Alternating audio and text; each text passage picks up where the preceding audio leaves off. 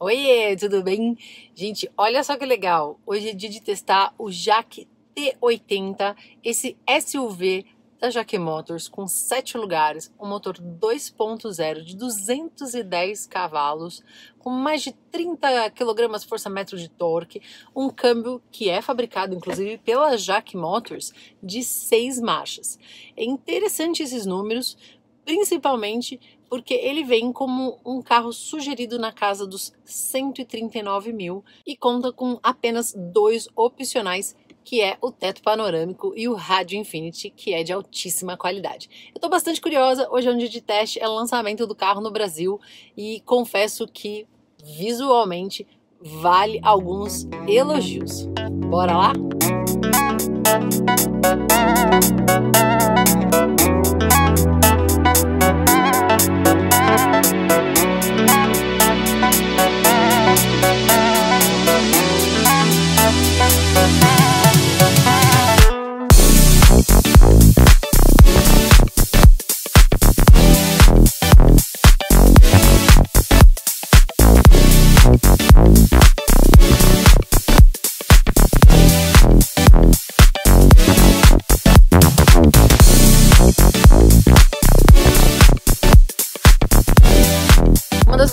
Mais gostei nesse carro, com toda certeza, foi o painel, essa central multimídia com 10 polegadas.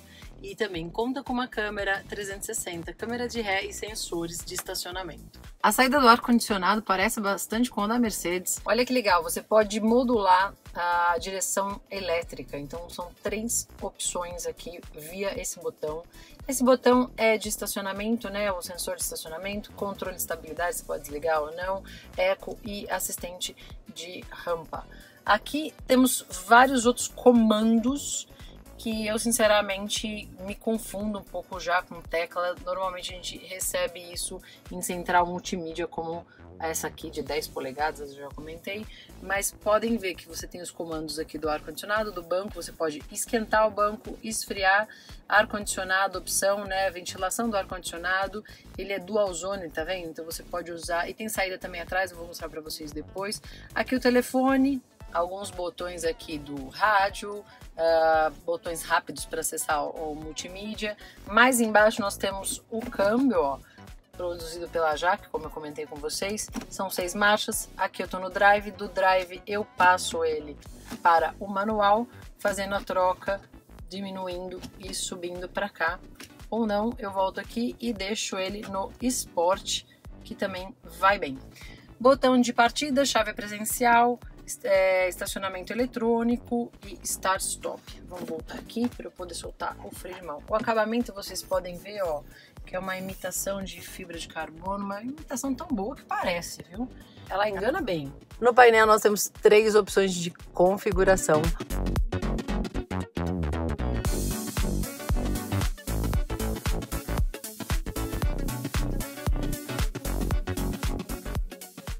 Como eu tô sem cinto, ele tá ali mostrando para vocês uma pessoa sentada no banco, né, sem cinto.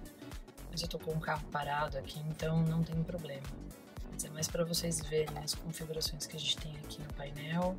E ali onde está piscando, que é a calibragem, porque o carro tô, eu tô com o carro torcido aqui, mas ele faz a leitura da calibragem perfeitamente, fez todo esse momento no trajeto, enquanto eu dirigia o carro. Então olha aqui, ó, o painel é todo digital, através desse botão aqui, ó, quando eu clico, eu troco a configuração das câmeras nessa tela de 10 polegadas. Os bancos dianteiros são elétricos, os dois dianteiros. Eles possuem ventilador, aquecedor e memória para você deixar programadinha ali a sua medida no seu banco. O que faltou e que isso é realmente uma pena é a regulagem de profundidade. Eu consigo regular aqui o volante somente na altura, mas eu não consigo regular ele na profundidade. No banco traseiro eu já tô aqui, ó, me divertindo, porque a gente consegue fazer o que? Regular o encosto. Eu tenho 1,73m, a altura com relação ao teto é muito boa. A distância da perna, notem que sobra espaço.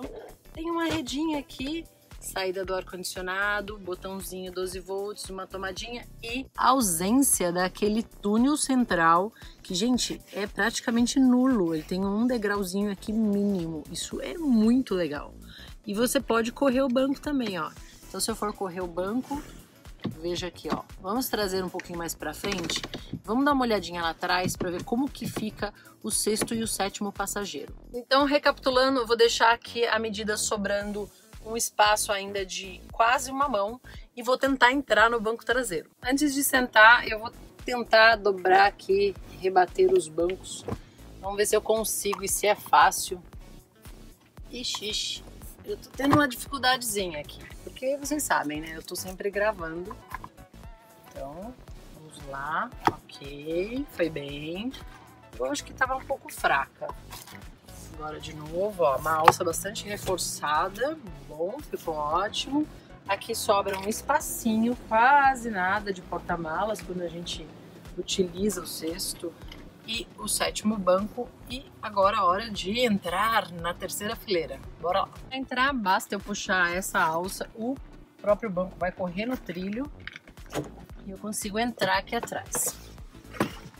Olha, eu entrei aqui, ó, meu joelho praticamente bate no banco da frente. O banco é bem no chão. Lógico que viajar não dá, mas pequenos trajetos, de novo, a 1,73m, estou no limite, no limite, no limite. Seria uma pessoa do meu porte com mais alguém do lado, né? Aqui tem mais um banco que seria o sétimo passageiro. Com porta-copos, tá vendo? Tem uma estrutura mínima aqui atrás cinto de três pontos. Ainda sobre a traseira, aqui no banco de trás a gente tem esse encosto de braço, também um porta-copos, bastante funcional. O cinto também três pontos, apoio de cabeça em todos os assentos e Isofix. Com 610 litros aqui o porta-malas, ó, vamos ver se é fácil dobrar de novo. Muito fácil. Eu tô usando uma mão, só para vocês terem ideia. Olha lá, muito bem. Rebatido de novo. Então, ó, aqui fica só o equipamento de troca. Alguns equipamentos de segurança. Uma capa. E esse protetor a gente consegue colocar fechando o porta-malas, né? Tá vendo? Ele tá aqui guardadinho, bonitinho. Eu posso tirar e encaixá-lo ali, ó. Que eu achei que a porta é um pouquinho pesada. Ó, na estrada, eu tô aqui a 90 por hora, eu vou reduzir uma marcha. Ih, não aceita. Tô em terceira, então eu vou esticar. 4, 4,5, 5 a 100 e, quase 120. Em 5.000 RPM ele troca a marcha. Se eu colocar em esporte, vamos ver o quanto ele demora para fazer essa troca. O problema do esporte é que eu não tenho como fazer a troca pelas aletas, não tem borboleta, não tem pedal shift, então eu não sei como fazer aqui, ó. Vou dar um kick down para ver se ele reconhece e acelera.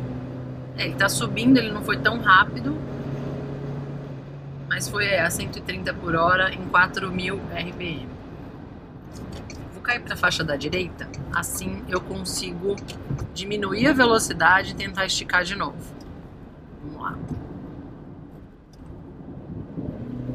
Ó, tentei o kick down de novo. Como eu não tenho ação atrás do volante, não tenho ação no câmbio, porque quando eu tô no modo esporte, eu realmente não consigo trocar a marcha pela alavanca, o melhor para mim é colocar em drive voltar aqui no manual, então eu faço a troca pela alavanca do câmbio, ó, tô reduzindo a marcha. Quarta, terceira, aí sim, aí você tem mais controle sobre o que você vai fazer, né? Eu gosto de ter essa, esse controle sobre o carro. Mas anda bem, são 210 cavalos, um câmbio de seis marchas. Mas é isso, acho que ele poderia ter uma resposta um pouquinho mais rápida na saída, mas depois que embala, o carro é muito esperto, também com quase 30 kg força-metro de torque, isso é bastante eficiente. E eu gostei. No drive, ó, ele volta aqui, ele fica mais silencioso e o carro tem uma rolagem bacana, mas você não tem uma direção tão esportiva. É isso. Boa, garoto. Quanto ao consumo, uma média de 6 é o que fez agora, porque eu vim, ó, acelerando e testando realmente esse carro. Ele, em proporções, é muito grande para a boa estabilidade que nós tivemos no percurso de estrada e realmente testando ele no máximo que ele poderia. Gostei, é uma boa surpresa, apesar de ele sofrer mesmo para deslocar essa massa com quase 1.800 quilos, não é um carro leve, mas é um carro bastante acabado, bem recheado. Eu mostrei para vocês aqui o interior. Tem gente que vai falar que o interior parece da Mercedes, a saída de ar. Tem gente que vai falar que a traseira parece de um Audi, que seja comparado com essas marcas, né? Eu acho que não é desonra nenhuma ser comparado com uma marca dessa. E aí, quero saber de vocês, se vocês gostaram do carro se não gostaram, deixa um comentário aqui embaixo e também qual o próximo vídeo você quer ver aqui no Michelle Jó. Manda seu recadinho e se não é inscrito no canal, se inscreve, ativa o sininho porque toda semana tem vídeo novo. Beijos, fui e até a próxima. Tchau!